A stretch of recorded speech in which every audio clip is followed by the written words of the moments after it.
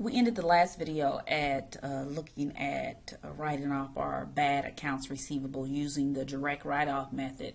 This particular video is going to look at the allowance method. I suggest you definitely spend some time reading this. This is a difficult concept for students and so I want to kind of do a video to kind of help you with that concept. So when we use what we call the allowance method, one of the issues with the direct write-off method is that we said it uh, there could be occasions occasions that the matching principle didn't apply, where the bad debt expense in the actual sales wasn't didn't happen in the same period. But under the allowance method, what happens is that it matches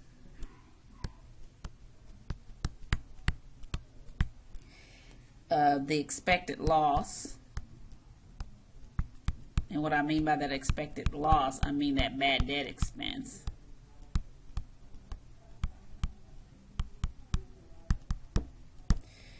um, in the same period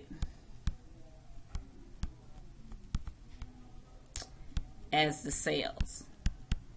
So it accomplishes that matching principle that um, the direct write-off method does not. So what we do is the only way we can um, make that happen is that we have to estimate our bad debts and we're going to look at that.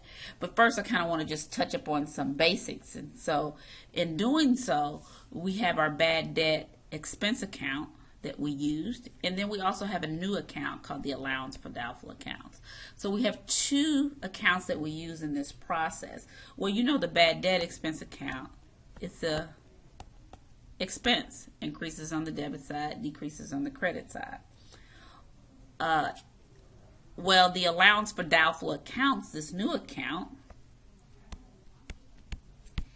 it is the opposite of that in that it is a contra asset.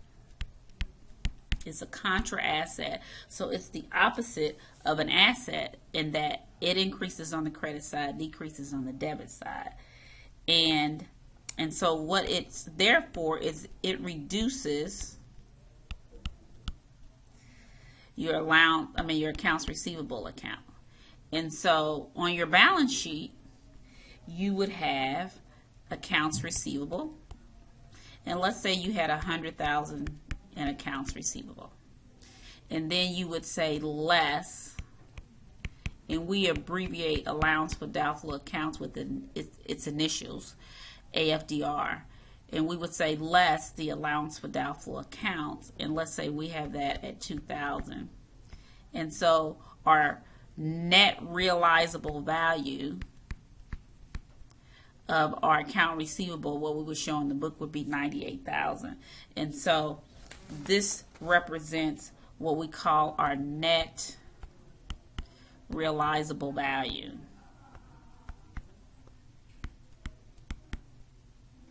Sorry about my writing. I'm glad I'm talking to, you so you at least know what I'm saying. And you'll see it abbreviated NRV.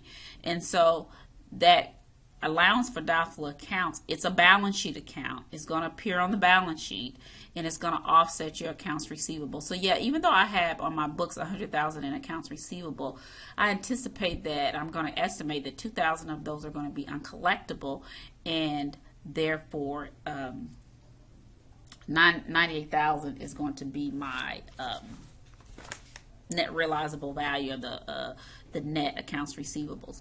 And so what you would do in order to you would do an entry to estimate those bad debt expenses and we're going to look at those that entry in just a minute. But we would debit bad debt expense, and remember that's going to go to the income statement, and then we would credit allowance for doubtful accounts. Um, and then when we actually write it off, at that point we're not writing off anything, we're just estimating. But when we actually write off the account, uh, the account receivable, we're going to write it off against the allowance for doubtful account. So we would debit allowance for doubtful accounts. Sorry about that. we would debit the allowance for doubtful accounts. I'm having a problem writing this word today.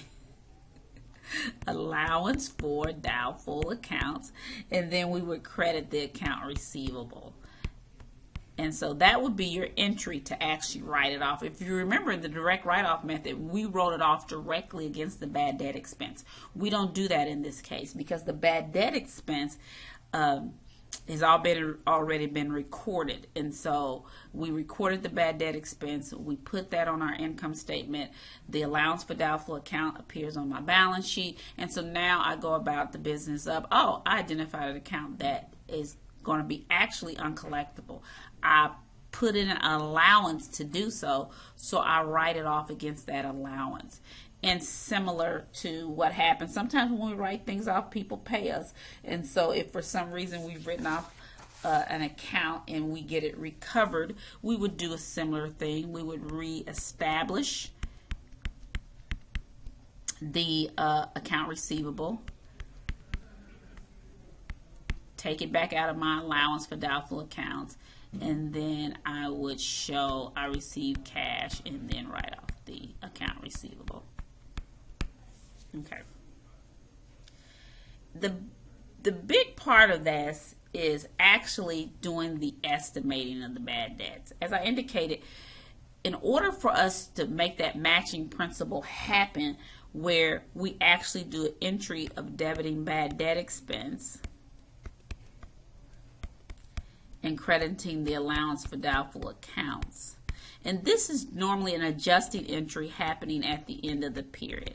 So at the end of the year, before we do our financial statements, we're going to estimate our bad debt. So we're going to debit bad debt expense. It's going to go to the income statement, and we're going to credit the allowance for doubtful accounts, and it's going to go to the balance sheet.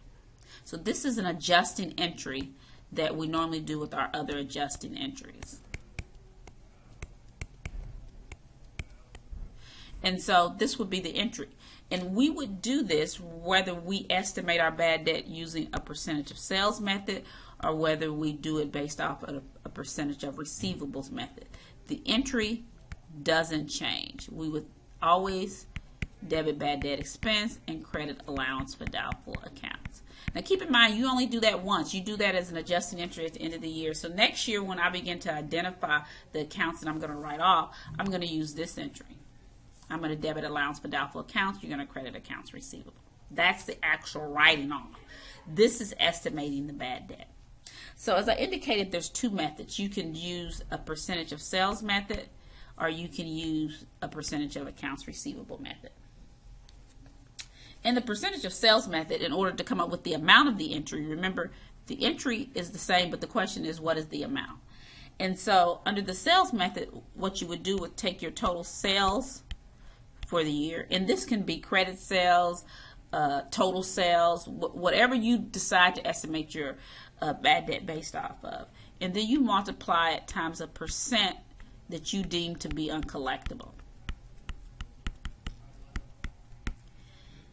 And then in doing so, that equals your estimate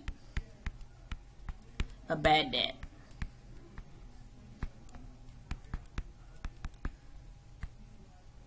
So that would be your entry, whatever that may be. So let's say that we had sales of 150,000 and we determined that 1% is deemed to be uncollectible and so you would get 1500. Your entry would be for 1500. You would debit bad debt expense, that would go on the income statement. You would credit allowance for doubtful accounts and that would go onto your balance sheet to offset your account receivables. That, so the sales method's pretty simple. Your sales times the percent uncollectible. The entry you get is the amount of, I mean, the amount you get is the amount of your entry. On the flip side, uh, when you are using the percentage of receivables method, the allowance account balance is adjusted so that the balance is equal to the estimated of uncollectible when recording the entry. And so you're like, okay, that what does that mean? Okay, so there's your entry. I'm waiting to figure this out. And remember on your balance sheet, you have an account receivable, and then you have less your allowance for doubtful accounts.